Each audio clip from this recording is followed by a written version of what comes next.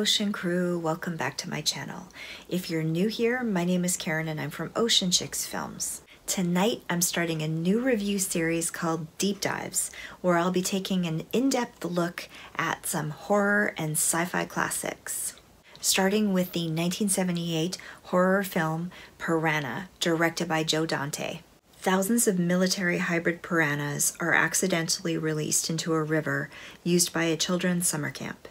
The race is on to get downstream before the flesh-eating fish do. Starring Bradford Dillman, Heather Menzies, and Kevin McCarthy.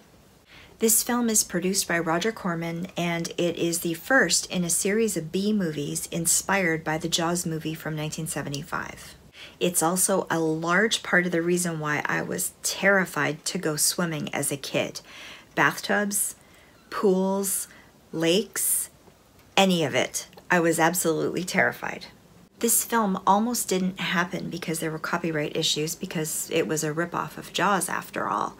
But Steven Spielberg, who did Jaws, watched it and gave it a two thumbs up and so then it was allowed to proceed forward. And it ended up doing really well in the box office and it's become a cult classic. It was followed by a sequel, Piranha 2, in 1982, and then by two remakes. And of the remakes, one of them had a sequel made to it as well. And if this film's not gory enough for you, you gotta check out one of the remakes, Piranha 3D, because that one's got a lot of gore. This film was directed by Joe Dante, and he's known for stuff like Gremlins, The Howling, Innerspace, and lots more he did this film and it kind of put him on the map. And just so you know, there will be spoilers. So if that's not cool with you, then just click off now. But if it is cool, let's keep going. The story begins with these two teenagers that have backpacks and they've come up upon this military compound that has this very large swimming pool. So the couple does go swimming. The girl really wants to go and the boy is kind of like, I don't really want to go in. What if this is like a sewage power plant or something like that? She's laughing it off like that's silly. Let's just go swimming. So they do go swimming, but at that moment you get that feeling of a bit of tension that maybe there's something wrong with this pool. And it's also nighttime, so you can't see in the water very well. There's just little bits of lights here and there, so that makes it very tense too. And as the story goes, the two are attacked and killed by something mysterious in the water, very horrifically. There's lots of screaming and whatnot, and then the water turns to red. this is our first tidbit of the piranhas, and they do make noise. And it sounds like there's bees up close against the microphone, and that's how they got the sound effect of the piranha. But it's actually not. I learned later that it's a dentist drill against the microphone which is really crazy. I was like, once I knew that, I was like, yeah, that's what it actually is. And because, you know, a lot of people are scared of the dentist, they're scared of that drill, uh, it, it kind of brings up fear inside of you when you hear it. So that sound accompanied with the fish flopping around and the jerky camera movement and the water and the idea that they're feeding, it's kind of scary. So the piranhas themselves were actually puppets on a stick that would actually chomp down um, on the artificial limbs and things that they had to bite into. And the whole effect looked really, really weird and freaky. So this woman named Maggie McKeown, played by Heather Menzies, she's put on the job to find these teens because they're reported as being missing. Now, the actress Heather Menzies was actually pretty cool to me that she's Canadian and she was married to Robert Urich for a short time. Um, she passed away, unfortunately, at the age of 68, so a few years back. And um, what was really, really cool to me was that she was in Logan's Run. So I love that movie so much. I thought that was really neat. I love all the little bits of trivia that you find with uh, actors and actresses, producers, directors, all connected in different films. I find that really fascinating. So Maggie is looking for the teens and she goes to this little town called Lost River Lake where they were last reported going, I suppose. And she starts questioning the local townspeople to see what's going on. She connects with this man. He's um, kind of out there, out of work, drinking a lot in this cabin, thinking his life through. So this man's name is Paul Grogan. He's played by Bradford Dillman. And they connect. He decides to take her to this place nearby, um, which is like a, a, military compound that's been abandoned. And they go searching for the, the teens there. And they stumble upon their backpack. So she's thinking, yeah, they're they were here they are here still. So they go inside. They find this big swimming pool. They go to drain it. This crazy man comes running out, yelling for them to stop, don't do it, because these genetically modified piranha are in the pool and you're going to release them into the lake. And once they get out into the lake they're going to start killing and eating people and they're going to make it all the way to the ocean. So she's in disbelief thinks he's crazy. It turns out he's a mad scientist that worked for this compound when it was functioning. And what it was was the uh, government were creating this uh, experiment to create these genetically altered you know, man-eating piranha fish that could live in cold water so that they could send them over to North Vietnam for the war and, you know, kill the people and that kind of thing. So this doctor is named Robert Hoak and he's played by Kevin McCarthy. But of course it's too late. She's already done the damage. The piranha are out there and the doctor's really pleading with them to help stop things. And then the dad, uh, Paul, he realizes that my daughter is downriver at this summer camp um, with all of her friends. And they also realize that there's this like big political kind of um, gathering. Um, I forget what it was for, but they're they're out there, you know, with all the people having a big picnic and everyone's in the water and celebrating. That's all downriver. So if they don't like shut down the dam or stop them, they're going to get to the people and all the people are going to get killed. So on their journey downriver, the doctor ends up sacrificing his life to save this little boy that they find on a canoe abandoned because his dad was killed. Um, you know, and lots of people get killed, lots of children get killed. It's very graphic and horrifying. And uh, they couple realizes they're going to need to uh, pollute the water with this uh, excess uh, toxic waste that's in this facility in order to kill all the piranha off and save the day. But in the end, the piranha, I think it is implied that they go out into uh, the ocean and they're still alive and existing, which means that there's probably going to be a part two, which there is. Dick Miller is in this movie too, I forgot to mention, um, as is Melody Thomas Scott, who played Nikki on uh, Young and Restless. And the reason I know that is because my parents were huge, huge fans of that show. And she's one of the camp counselors. She's really young in this, so it's really cool. Uh, and uh, the little girl, the, the dad, his little girl, ends up being okay. And she ends up saving her, but not the other camp counselor who um, tragically gets sucked down and dies. Very sad. There's one scene near the end where they Maggie and Paul go to this facility to try to open the valve to let the toxic waste drain into the water um, to kill all the piranhas. And uh, this facility is underwater, submerged underwater for some weird reason. And uh, it they have to he has to swim underneath the water to get to the uh, door to get in to do this thing. And so he ties a rope to himself which is tied to the boat that they have. And she's supposed to count to a hundred before she gives up on him and just books it and drags him out of there uh, whether he's opened the valve or not. And it's like she counts to 300 which he could never hold his breath that long but they kind of drag it out that way so it's a little bit hokey.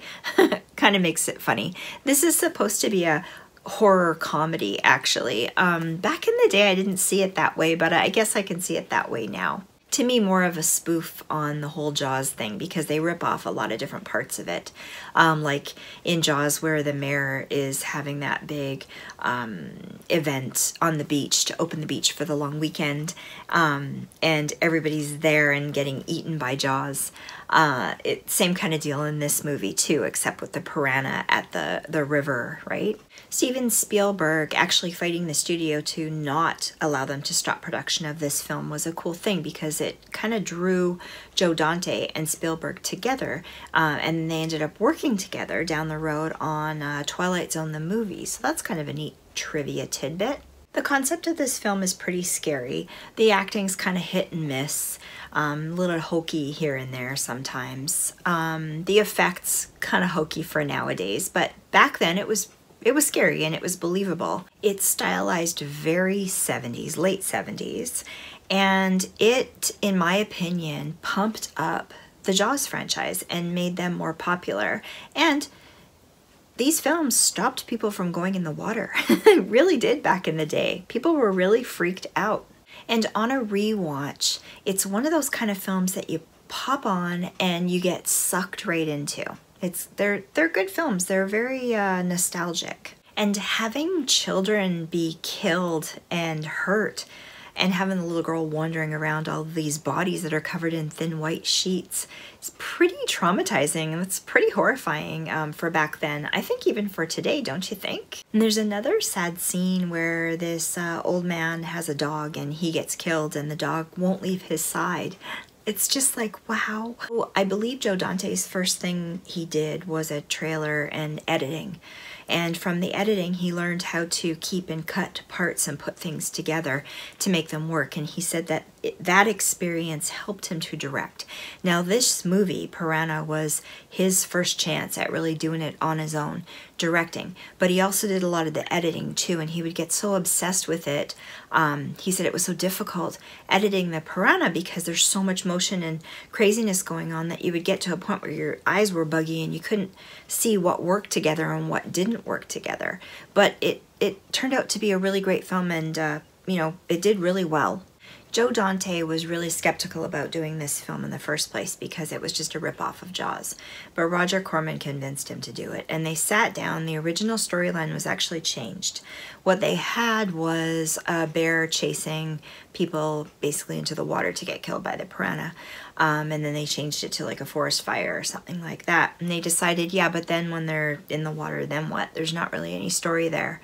So uh, Joe Dante really wanted to bring in a science fiction angle to it.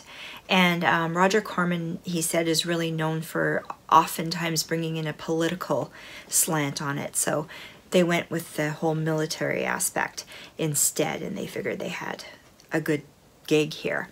And they actually filmed, uh, Roger Corman made him film all of the scenes with the piranha first before he would allow him to proceed with the, the storyline with the rest of the people. So that's how they filmed it. So Joe Dante said that Roger Corman was really incredible to work with um, and that he often was very well loved by actors and directors because he would always hire them and he was a little different and he was a really good go-between between them and the studios.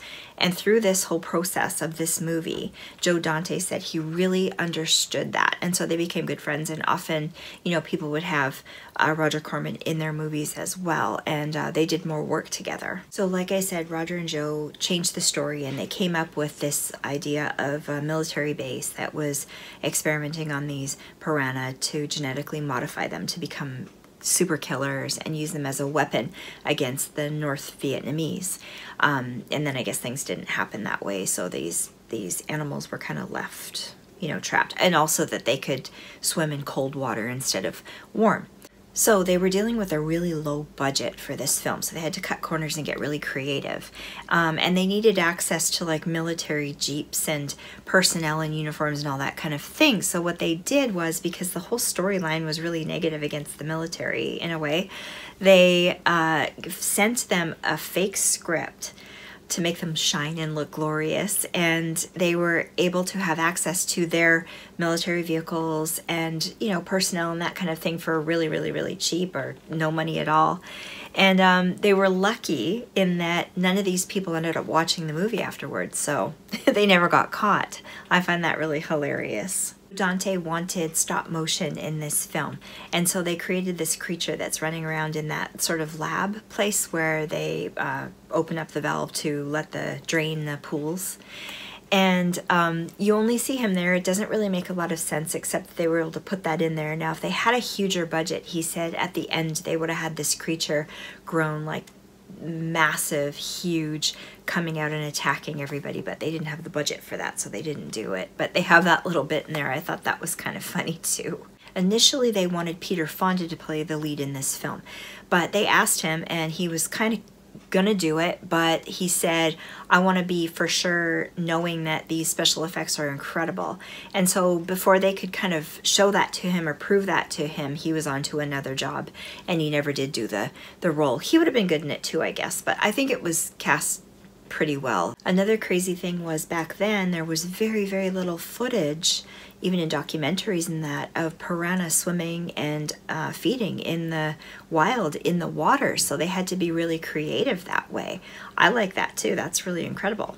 The idea of the dentist drill and the puppets kind of going through the water and making that sound is kind of gives you the heebie jeebies. It did back then and it made me scared to go swimming. It really did they were able to land Pino Donaggio, who's an Italian composer, to do the score for this film, um, even though they had such a small, small budget. But um, because he really wanted to be a part of it, uh, and they could cut through the middleman and that kind of thing, they were able to pull it off. The only thing was Joe Dante wasn't didn't really have control over it. They just did it and sent it to him, and that was that. But he was okay with that because, like I say, that first film, low budget, you know, worked out really well. Joe Dante was put on the aquatic map, as he states, um, after this film. And it makes me think of Brett Kelly with Ouija Shark.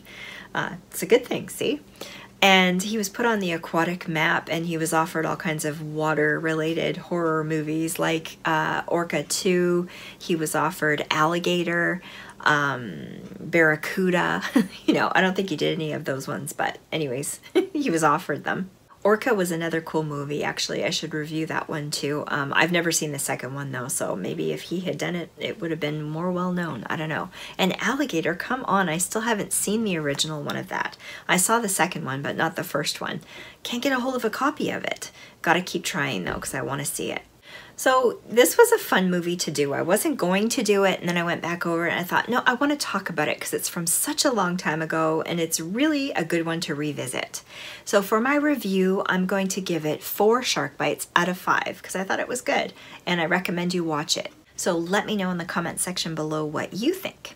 And if you like this video, don't forget to give me a thumbs up because it helps me a lot and subscribe to the channel for more deep dives like this. I'm going to be doing them every Wednesday, so you got to tune in for that. And don't forget to turn on that bell notification button so that you get notified when I upload. And I'll be doing more movie talk interviews, of course, and Spirits and Screams live streams. We've got a watch party coming up this Saturday night at 7 p.m. Pacific time. We're going to look at the movie Terrifier. Oh my God, Art the Clown? You cannot go wrong with this movie. So much fun. So don't forget to check that out. I'm also going to be looking at a very dark horror independent film, very recent, um, called Flowers. I'm going to be reviewing that on Friday for you, and um, we are fortunate enough to get one of the actresses from that film to come on a live stream with us. So I'll be telling you more about that next week. Uh, stay tuned for that too. I just want to say thank you guys so much for stopping by. I love you all. We'll see you again next time. Bye guys.